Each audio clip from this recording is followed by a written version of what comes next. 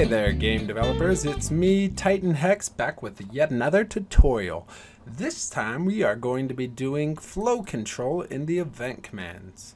So we we went over some of the um, text and game progression, uh, well the uh, control timer parts last time. I figured this time we would go over some parts in flow control. I already took another I already took a whole section up for conditional branches, which is important. So this time we're going to be going over loop, break loop, exit event processing. Uh, I'm going to have a separate uh, tutorial for common events. Um, and in the common events, I'm probably going to go over label, but I'll also go over label now, and we'll just go over comment real quick. That's an easy one. So let's begin with loop. The loop part of the event commands is pretty easy to learn. It, it works very similar to auto run and parallel here in the triggers. So the way all of those work is that everything within the contents will repeat over and over until something either changes or the loop is broken.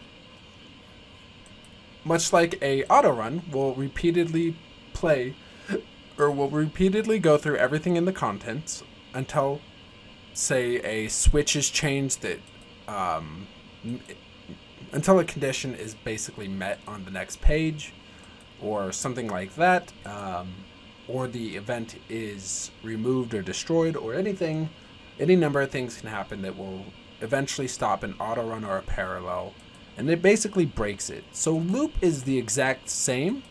Everything inside of a loop, which would be everything between the loop and repeat above, will happen over and over every single frame, if not even faster than a single frame. So the loop will repeat over and over until it is broken. If you don't break the loop, everything inside the loop will repeat constantly. And it will eventually freeze, and it'll basically, well, it will basically freeze up your game if you don't have a way to break the loop the only way to change that would be if, is if it is done in a parallel process. Then you will not freeze the game. So just keep that in mind. You always want to be able to break the loop somehow. And in order to break the loop, we just use break loop. So the problem here is that if we break the loop, even if we put some sort of text above it or something like that, the loop will only ever go once, and then there is no point in the loop being done. I mean, if, if the loop only ever occurs once, there's no point in having the loop. The loop should have, should be able to go multiple times. The whole point of it is to repeat.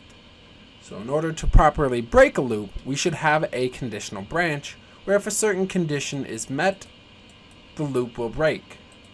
In this case, I could have it where if I hit the cancel button and I put the loop inside of the break the break loop inside of the conditional branch, I can make it so that the loop will go indefinitely until the cancel button is pressed down. So generally, a conditional branch with a break loop inside it is one of the best ways. And the condition some should be met inside the loop. There should be some way that the condition that breaks the loop is met inside the loop. A common example is that a variable will tick up by one until eventually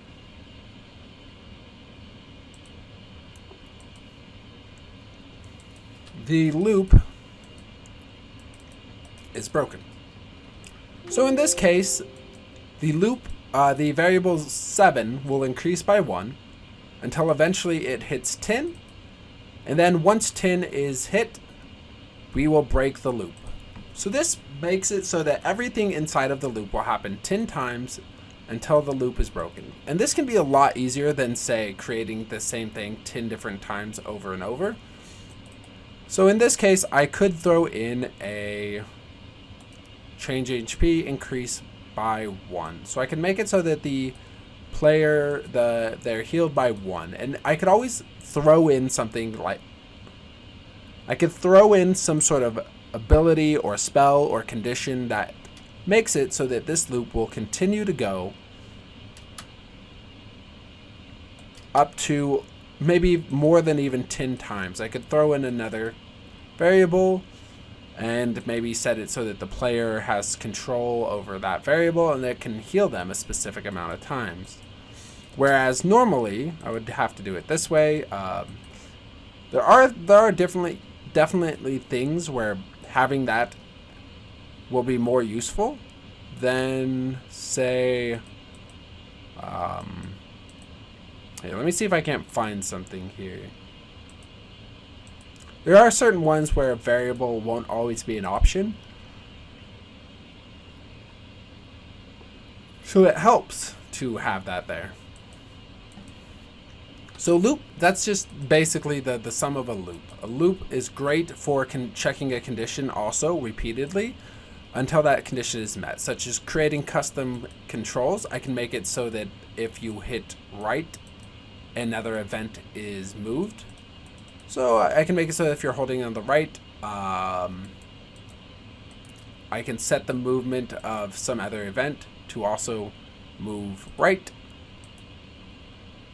and this can work really well, especially inside of, say, a parallel process. So now I have something where it's constantly checking to see if the player has right down.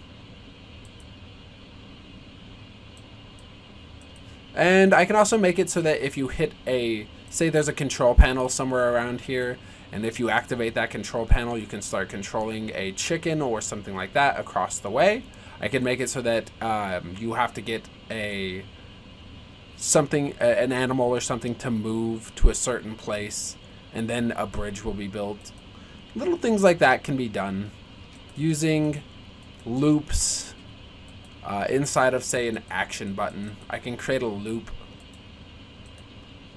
So this would be the panel, and then in the loop, I would check to see if the player has certain controls held down, such as down, left, right. And I can make it so that when they hit escape, it cancels and then they break the loop and they're no longer controlling whatever object would be controlled over here.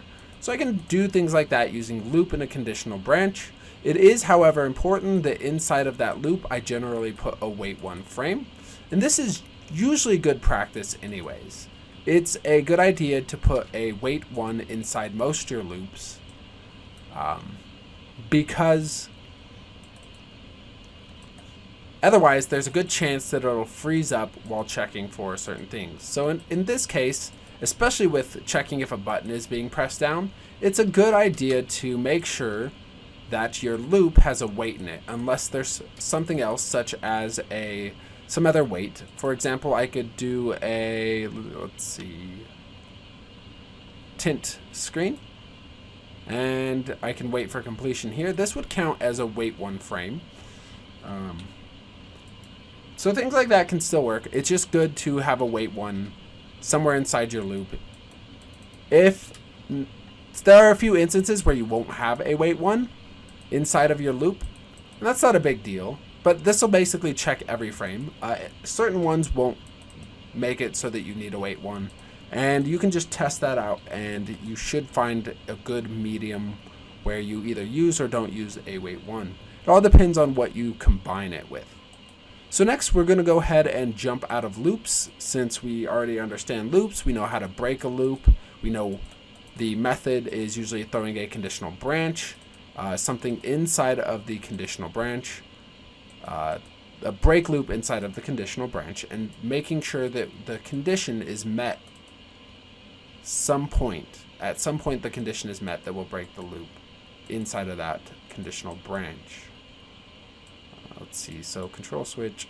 So maybe um, if the player hits escape or something like that. There's, there's different methods. Loop is more used in systems than it ever is in, in actual gameplay, but there are some really awesome little systems and mini games you can make using the loop. So next we're going to go ahead and jump to the exit event processing. This one is pretty simple, so that's a plus. Exit event processing simply allows um, the event, the contents, basically to exit. So now I could have some text here and maybe some movement. And and then at the point where it says exit event processing, the event process will end and you will have to reactivate it. Um, if it is on a parallel or an auto run, it'll just return back to where it was. So basically, if you don't want, if you have the exit event processing, you probably won't be using the auto run or parallel triggers. The action button is usually a good one, player touch, event touch, all of those work. Um, but generally, you won't be using auto run or a parallel trigger for exit event processing. Now, exit event processing stops the event's contents from being executed, and nothing after it will happen. So this switch will not be turned on. This HP will not be increased by this much. This won't happen. This will happen. This will happen. It'll exit the event processing, and nothing here past this line will uh, happen. So keep that in mind. Generally, there's no point in having exit event processing on its own. It is much like break loop meant to be inside of a conditional branch. So I can make it so that if the switch um, guessed passcode or something is on, uh, it'll exit the event processing. So all of this will happen. However, if the player guessed the passcode correctly, this stuff will not happen. So you can make it so that the player will have to fight or not fight a certain battle based on if a certain event happened or things like that. So it's an it's generally used for very specific things, uh, systems more often than not. Normally, you can throw a conditional branch in, but this makes things so much cleaner and it makes things a little nicer and easier to read. So exit event processing has its uses for sure, and it's good to keep those in mind. So next is label and jump to label. So we create a label and we give it a name. And it's important to know that if you put a label inside of another event, um, even a new event page, that it won't, if you use, all right. So if you use jump to label, it'll jump over to that, the, the label with the same name. This cannot jump to this label because it's a different name. But if I change this label name to ABC and I jump to label ABC, it will jump back up here. So if I do a show text and change HP and whatever else. So if I do all this, basically this label is memorized. It's going to read this, read this, read this, find this jump to label and it's going to hop back up here, do this, do this, do this, hop back up here, do this, do, and it's going to become a loop. So just remember that. Uh, jump to label is super easy, awesome if you want to skip a bunch of information. Say, I have this happen, I have this happen, I have this happen, I have this happen, and then I can do jump to label, and I can name a label. And then I can have other stuff. And then I can jump or name the label here. So basically it'll read this read this read this ignore or read this jump to here and skip this. So it's important to know that labels can do that. They can make it so that you jump to different parts of code. And it one of the cool things that it can do that's useful is if I create a script that can never be met, so maybe 1 equals, if I create a condition that can never be met, like 1 equals 2, 1 will never equal 2, so this will never ever happen, and anytime it's reading the code, it's going to find that this isn't true, ignore everything in here, and keep going. If I throw a label in here, ABC, and say I jump to label at some point,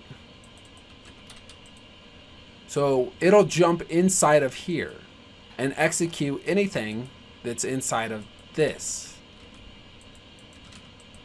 So now it'll show this choice, whereas normally it wouldn't show it because it would say it's false. It'll jump here and just read it from there.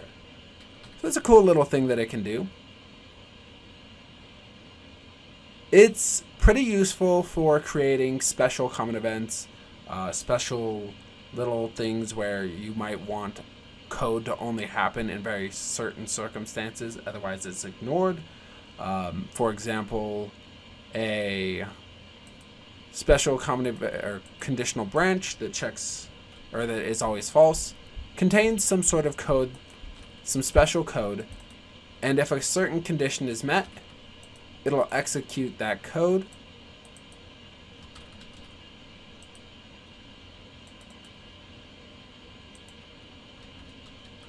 There. So now I can have some sort of special code and maybe something will happen and it'll jump into here if a certain condition is met. There are a few instances of systems that use that, so it's good to know that. Uh, it's also useful to say if you are creating a system and then you need to jump back in back in the system say you have a select item you're making a crafting system um, and at some point you don't want to add any more ingredients uh, if you say yes I want to add more ingredients it'll jump back up and do this saved item and then it'll check to see which item you're putting in, or maybe you want to replace an item. Um, you can use jump to label to jump back to that part of the code. Uh, stuff like that can be very useful. So creating this is really good for creating systems. I I'm pretty sure you know how it works now. So that should be really useful. Next is comment. So in comment, uh, basically this is this does nothing. I can input a comment and it will have no effect on the game the player will never see this and it does no code, so there will be no execution of whatever's in here. So comments are basically for you, the developer, to keep track of any notes or information you need to remember things about your contents. It's also useful if you're, you're sa saving a public eventing system or something like that. But basically you can say um, keeps track of monsters killed type and then you can maybe keep some systems in here. It's very useful, especially for, say, event searcher. Uh, I believe certain events, nope, You can't search for certain comments and events. If you could, that'd be super useful. But either way, having the comment in there helps you keep track of some information or something. You could put a to-do list or remember to finish this or add this later or things like that. Uh, this is for this, maybe to help other people who you are contributing comment or contributing events and stuff systematically to. Uh, maybe you can put comments for the next person making something. Things like that are very useful with comments. But basically, they just do nothing. They're there for you as the developer to just remember certain things or to keep track of information. So now with that uh, we are done with the tutorial. Thank you. I appreciate it. I appreciate you tuning in. Hopefully this has taught you something very useful. With that, I will be on my way. So uh, like, comment, subscribe. I have a Patreon. If you could, um, if you want to be part of the Patreon, there are some great rewards there. There are some things that are um, available for people. It's, it's good to be a part of that. So, thank you. Looking forward to hearing from you. And you, as always, join me in the next tutorial. Música